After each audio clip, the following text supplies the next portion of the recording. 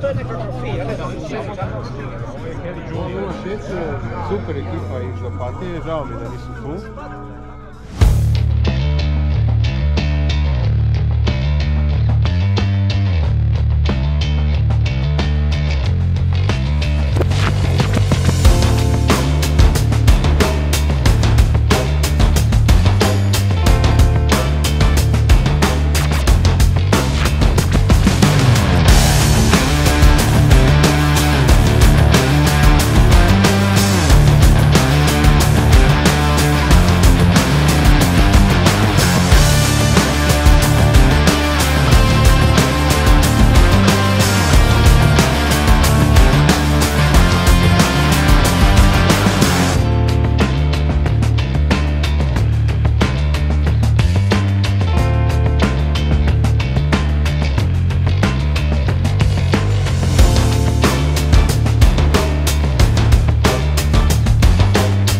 Znači nakon dosta vremena baš da smo prvi ušli i evo drago mi je zbog ekipe jer smo ove zime se potrudili, trenirali i rekao bi se ono evo vraćam se, vraćam se. A nije još vratit se još više.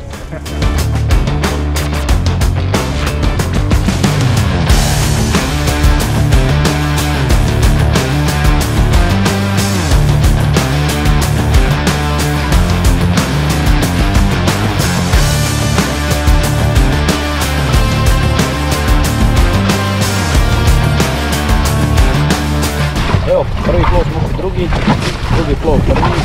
U ovom plovu odličan start, start, e, otvorili lijevu stranu i vodili smo praktički od starta do cilja. E, imamo novi setup, nova jedra, zadovoljni smo s brzinom, sa jedranjem i, i to je to.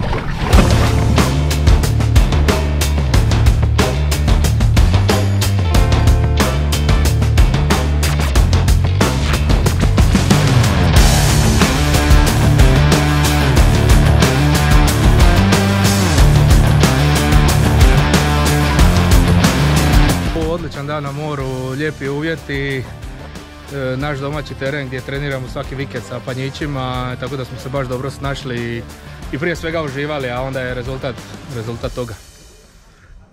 I to je to.